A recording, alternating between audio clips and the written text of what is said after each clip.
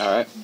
All right. So, you're a true pioneer of craft brewery in this area. Um, how did you get started? I know your wife helped you out a lot. I started homebrewing in 1995. Um, it was my first year out of high school. I was in college, and uh, on a fake ID, I was you know buying a lot of beer, and I've always liked better beer, even in high school. It was one of those things that I, when everybody was bringing you know a suitcase of Natty Light to the party, I was the guy who was bringing Sierra Nevada Nice. um, and Sam Adams stuff like that. I really enjoyed bigger, bolder beers. Um, when I went off to the first college, I went to into Radford. Um, I was still like in party mode. I didn't really pay attention in school. That's one thing I regret. It's not sticking to it. Um, I uh, there's this beer and wine shop over in Virginia Tech, over in Blacksburg. That's where my wife went to school. Um, it was called the Vintage Cellar, and I remember going in there, and I kept every week I would drive over there and I'd buy all this great beer. hmm Finally, the manager uh, sat there and said, "You know, you come in here all the time. You know, why don't you? Uh, have you ever thought about making your own beer?" And I was like, "No." So next thing you know, I'm cooking beer up on a hot plate in my dorm room, and I almost got thrown out of school for it. Um, but fast forward, I after that summer, when that next summer came, my dad had a small business around here, and I used to work for him all the time. But he kind of, I sat there and he's like, "Are you ready to come back to work?" And I said, um, "No." I, I he's like, "What are you gonna do?" I said, "I don't know. I, I want to open a brewery one day." And he Mhm. thought I was just, you know, a young college kid drinking too much. And I said, "No, I, I, I think this is really something that's cool. You know, I think this is something you can do." And at that time, I was, you know, trying to figure out, you know, looking at it and. I think this is right when the internet was getting started and stuff like that. So I mean, as much information I could find about it, Right. uh, magazines and things like that, I, I looked it up. And the funny thing is, is there happened to be a brewery that opened up over on 24th Street, Right. Steamship. Right. They told you you worked And my dad did a lot of work with the Chamber of Commerce, so he's like, "Let me call this guy. He might be able to help you out." And long story short, I worked that summer uh, at a brewery, Mhm. and I loved it. Uh, what we do is not glamorous, and that's the thing. Is you know when I when when people come to me, hey, I want to open up a brewery. The first question I ask is, have you ever worked in a brewery? Right. Um, and when they say no, I'm like, you need to go and intern at a brewery. Right. Um, because if you can do it, and I did it two two times. I did it with Steamship, and I did it with um, St. George over in Hampton. If you can work there for free over a, over a good amount of period of time, six months or more, and you still want to do it, then hats off. Then you then that this is the business for you because Right. there's a lot of people that come in here and they'll intern with us, and then three or four days into it, they're just like, I got, I can't do this anymore. I, or they'll be nice and say, hey, we'll, we'll, I maybe maybe just a couple days a week, and you just, you realize then They're that not you know, about it. Yeah. Um, so after that, I you know didn't do so well in Radford, so I ended up going to ODU, coming moving home, going to ODU. Um, kept home brewing. Um, next thing you know, you, you get closer to graduation, and your your mind starts moving. You know, I started dating her, and next thing you know, your mind starts moving. Like I have to get a real job. Right. Right. So once you start getting the real jobs, I just didn't want to do it. Even she'll vouch for me on that. It was you know I I think coming from a family of entrepreneurs, I think it's a uh, one of those things I can't I can't work for somebody else because I and I'll end up inevitably I end up picking apart what they're doing wrong or what they're doing right and how we can or what they're doing wrong and how we can fix it and things like that. And so long story short, uh, I went to I was working for Sysco Foods, um, selling food, and I didn't bleed Sysco blue, so I quit Mhm. and I went to work for St. George. Where, Uh, I interned. How, how long was it? I interned for about six to eight months over there. I think you were there for almost a year, actually. I was there longer than that, but I mean, just for free. Yeah, um, I think the total amount of time was about a year. Okay. She uh, she was working for American Express at the Mhm. time, so she's the one who basically said, "You keep talking about this, you keep dreaming about it, you're doodling on little bar naps all the time. Um, why don't you? It's one of those shake it off the pot moments. You know, what are you gonna do?" So, luckily, she was the the main force behind me, just saying, "Do it, do it." And next thing you know, I'm at working at St. George, and the next thing you know, it's building my business plan. Um, I tried to buy St. George, that didn't work out. So the next thing you know, I'm doing this. Right. Uh, and then the recession hit, and we lost a lot of the investment money. But then Mm. we just kept saying, you know, we're going to do it anyway. Right. You know, so we did this on a bootstrap. I mean, relatively, watching some of my friends start up breweries in the multi-million dollar range, we started for a, a mere percentage of what they started with, and it's it's crazy how far we gotten very undercapitalized. Mhm. Uh, going forward, if I was going to do it again, well, we are doing it again because we're building a new I know. brewery I just seen it. Um, we are definitely going to overcapitalize ourselves on this one. Um, the great thing is, is we already have a proven product. Um, out markets outside of here want us, so it's it's now our goal to grow Right. uh, even more so than what we can do here.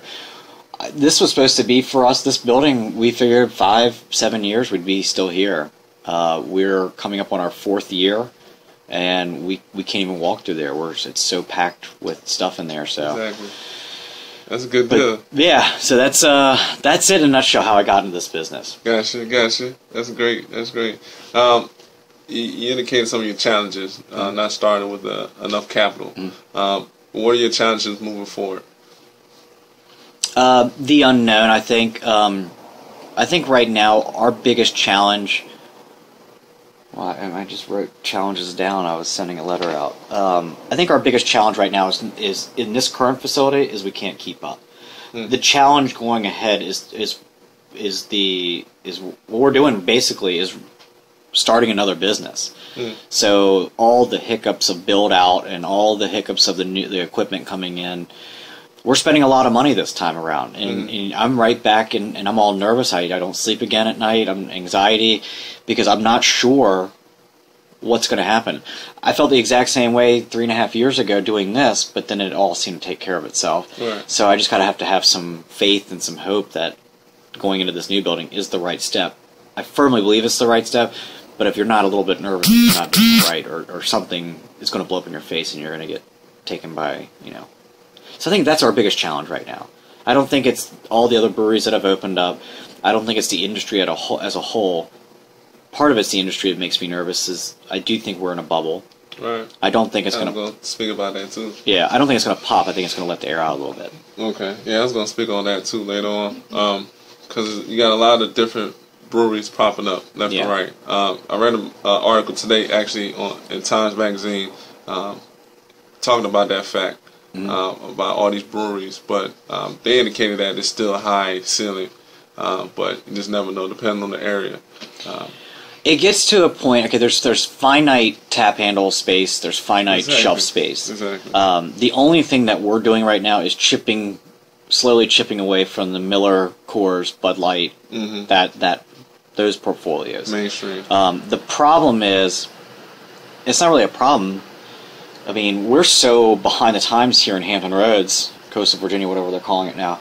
Um, we're so behind the times comparatively to like even Richmond and Colorado on this this beer thing. Mhm. Um, the sad thing is, is the guys on the West Coast who've started 20 years ago are bringing their brands into our state, and and they're coming in with more marketing money, Mhm. more power behind them, just like we saw with the Budweisers and the Coors stuff like that. Mhm. The, the the other thing is is that I see what's going to happen is a lot of consolidation over the next five ten years, not just with the breweries but with the distributors also. We went from having 800 like about uh, about 10 5 10 years ago there was probably only maybe a thousand at the most breweries in america Mhm. probably even less than that and there was probably 5000 distributors now there's almost 4000 breweries and maybe only 1500 Not enough distributors Right. so what we're what I'm seeing, what makes me real nervous, is that these distributors, uh, even like our distributor, we were probably like their eighth craft brand. They're they're a Budweiser distributor, hmm so they have all those Bud products. But then when InBev and AB, or when InBev bought Anheuser Busch out, all of a sudden now they're bringing in they have Stella in their warehouse. They have all these other beers that never were there. Um, and then on top of that, they keep acquiring brands. Right. So they went from having maybe 10 craft beer, American craft beer brands to now probably about 35. So what sets us apart now inside our own backyard? Right. Not just because of the other guys that are open. I mean, my buddy from Beach Brewing, um, he's with a different distributor. So technically, we we are in competition. I mean, all of us are in competition, but there's a lot Right. of camaraderie. Right. I mean, he's doing his grand opening this of his new facility this weekend. We're going to go out there and support him. But our distributors and his distributor hate each other, kind of thing. You know, Mm. they might have a beer on the side, but when it's come, it's sales now. Right. And um, then you look at, but yeah, now they're starting to bring in these other like New Belgium, Fat Tire, and stuff like that. My my distributor handles them. Well, all of a sudden, because they have the marketing money and because they have uh, the capacity to be like, here's four tractor trailer loads, uh, we're going to pay to paint your truck fat tire on it. Right. We're going to do this, but in return, we want this many facings on the grocery store shelves. We want this many tap handles in the first four weeks. We now, I think, we have the ability to do that once we move out to new markets because we can prove what we've done here locally Right. But they've been doing it in you know damn 20 some states and now all of a sudden when you come across the mississippi you can come over kind of like a tough guy kind of a you know push people out of the way. Right. so i think that's going to be the problem. Um, distributors are consolidating. I'm watching it right here in virginia. We've had probably about 10 distributors probably about 10 or 15 distributors small and big and now it's really coming down to maybe i think there's like six distributors in, in virginia and people are, are literally looking over who can buy who out Right. because that's how they're. I mean, especially the Anheuser Busch guys, they're landlocked, um, and that's by one of the Bush family members way back in the day. Like, you're going to be our distributor, but this is all you can do. This is the only area you can sell in, Mm-hmm. and they did. And it was smart when Anheuser Busch was doing it, but now with the influx of craft, these guys, the only way they're going to grow is if they buy the guy next door to them in the next market uh, to build a bigger footprint. Right. Um, the same goes for uh, craft beer. I mean, Boulevard in Kansas City uh, just got bought out by Duvel in Belgium. So, um, Blue Point just got just recently, like two days ago, just got bought out by Anheuser Busch. Um, Goose Island, great beer up there. The thing is, is people like Anheuser Busch and Miller Coors, they they're not going to be able, and they're seeing it. They're not going to be able to uh, fool anybody with Blue Moon and Shock Top. Blue Moon is a good beer. Shock Top is a good beer, but the thing is, is everybody knows that Miller Coors makes Blue Moon, and everybody knows Exactly. that Anheuser Busch makes Shock Top. Exactly. So what they're going to start doing is they're going to start buying up people like us, because I'm sorry, but Carlo Carlos Brito, the chairman of InBev AB InBev, is not going to sit there and spend 58 billion dollars on Anheuser Busch to see their brands do this. Right.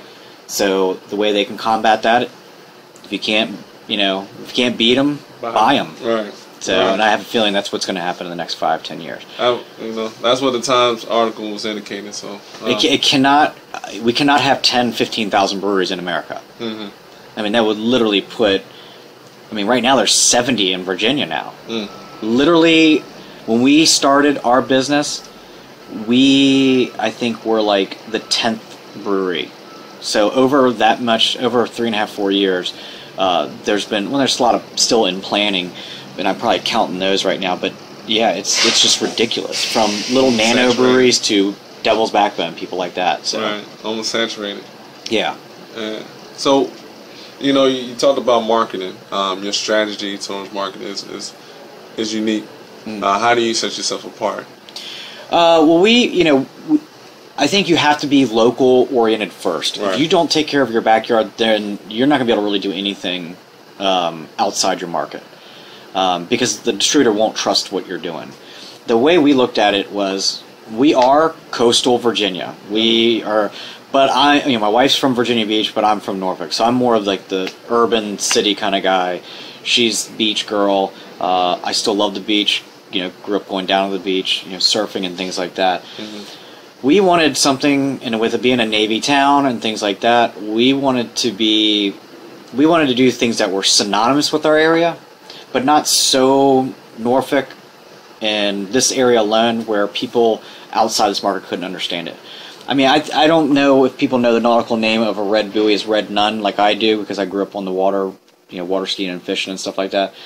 But when they see the buoy, they may, you know, Click. that it'll click. And Green Can's the same way.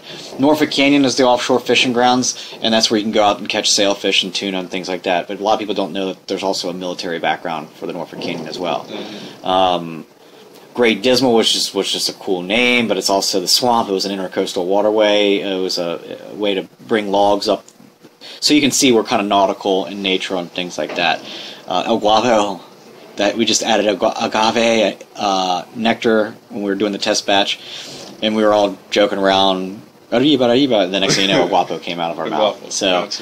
Uh, going forward, yeah, we'll start mixing up um, ideas. We use a local artist to do all of our um, all of our artwork right now. So we like to give back and things like that. So it's a little bit different, not as graphic as some of the other people are doing. And I think that's another reason why people like our brands is it, it pops on the shelf and people are like, wow, you know. And then again, we're we were the only local one for the longest time. So Right, right, exactly. um, more marketing. Uh, more marketing is really st- we're just going to stay grassroots. right. I mean, Dogfish and people like in Rogue and Stone, um, they virtually spend virtually nothing. I mean, obviously they're spending money. I mean, you'll see them in like New Brewer magazines and ad space and stuff like that. But we don't. None of us in the craft beer industry have commercials. Sam Adams, obviously, being the diff- only one. Um, I don't consider Sam Adams craft anymore, but Yeah. the Brewer Association apparently does. Um, but it's really all about taste, and you're going to find your loyal fan base, and that loyal fan base will tell somebody else. If you're Right. making quality, consistent beer, what's going to end up happening is you're going to enjoy it, and you're going to tell ten more people. If you have a bad experience, then you'll probably or actually the other way around. My my old life in sales. If you have a bad experience, you usually tell more. But if, but if you really like something, you're going to tell your friends, and your friends may like it. Next thing you know, it just spreads. So grassroots to us is our true marketing plan. Uh, but as we move into new markets, we'll probably put salespeople out in markets to help keep the word alive that we are Right. O'Connor. So Gotcha, gotcha. All right. Um, as you can see, I got a unique last name. I'm from Nigeria. Yeah. Um, the beer there is outstanding. Uh, you can get a beer 25 for like a dollar. Okay. Um, one of the special beers there is called Star Beer. okay. Um, have you guys traveled around the world and see any different type of beers that you? as much as I've ever been, as far as I've ever been, um, I'm the guy who goes and tries a local beer at any American city. Right. Um, as far as Nigeria, no. I mean, I've, we've been to Europe. You know, Nice. I think Italians should just stick with wine. I think. Uh, I was going to ask you, you have you had any bad beer I think? Greeks should stick with ouzo and wine. I think I think Mykonos beer is the worst beer in the entire world. There's no. They shouldn't even bottle. They should just close that place down. Um, the uh, there was a couple beers. Well, we're going to head over to Belgium and Germany because I know they. I know they make great beer. Right. Um, I think my, I think, I mean, I'm just an American craft guy. So, I mean, I think the best beer, one of my favorite beers, uh, was in Chicago, uh, Half Acre Brewing uh, Daisy Cutter. It's rated one of the best IPAs, but I mean, I knew about it, but having it in Chicago was Mhm. awesome. Uh, Revolution in Chicago is really good. Um,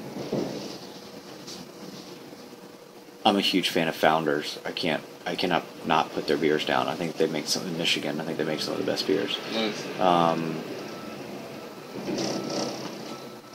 I don't know. I'll keep, I'll keep telling you. I mean, I, right. I just, I love to try everybody else's beers. That's good there. Um, glad you're a critic too. So, um, y- in it, I was looking at your website. You said you have some earth-friendly business practices. Mm-hmm. What are some of those? Uh, we give all of our grain to local farmers. Local farmers either use them for uh, uh, cattle feed, like uh, Mhm. pigs and chickens, and some some of them have horses uh, and cows. Um, if not, we have one farmer that picks it up, and he actually uses it for composting, Mhm. organic composting, and then what he ends up doing, he sells it back to the farm markets around locally. Nice. So we see what we're doing is taking our spent product that we could be making money on, but we don't want to do that. So we have about we have about three farmers. We, we're going to add two more farmers when we move to the new place. But they take the grain they'll, and they will uh, they'll feed it to their pigs. They butcher them. They bring them back to you know. Actually, there's a couple local places open up right now, butcher shops. So I think they're going to jump on board with them because we've made relationships.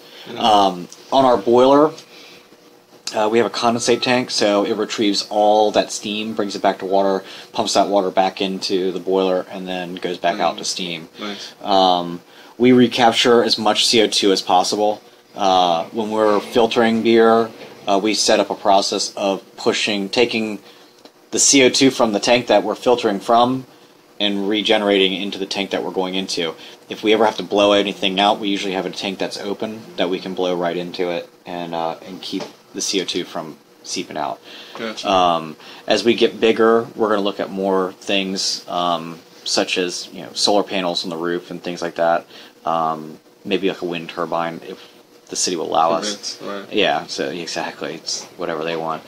But as much as we can do, I mean, in the new facility, this is somebody else's building, but the new facility we're buying, so a lot of the stuff is going to be low VOC paints and low VOC uh, tiling and stuff like that. A lot of it's just going to be concrete, uh, so we don't have to put anything foreign that's going to go on the ground and, and may be um, an issue in the future. Um, the new boiler going in it's going to be uh, is actually rated like 100 times better than that boiler. Uh, so we're going to be able to recapture again but use it more of an efficient way. Um, the chemicals we use uh, right now we use one company that's actually eco-friendly with their chemicals. Uh, there's a couple chemicals we use. hey yeah penny it should be on the printer but i got a bunch of stuff on the printer so it should be the last the first one down the bottom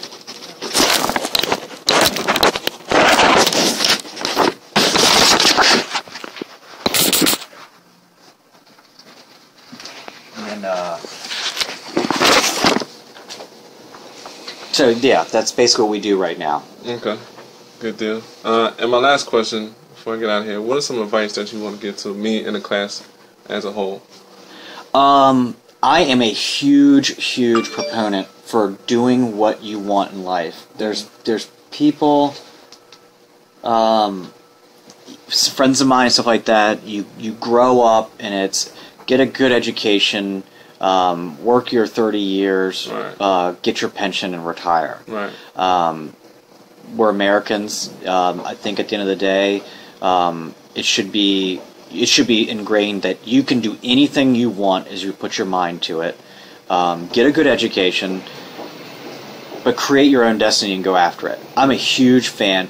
The minute you think that you're going to fail, I mean, I'm now I'm going to pull out like Oprah stuff, but the minute you think you're going to fail, if you push through, there's there's going to be missteps. Mm-hmm. Um, believe me, every single day I got to put out a fire or something. Right. Um, there's never. I wake up at 3:30 in the morning, like, did I do this? Is there any money in my? I used to have dreams of, is there money in my bank account still? Right, right. Um, I remember I had one dream a couple year, the first year, and it was like I would wake up in cold sweats and my bank account said zero, and it's like where'd all the money go? Hmm.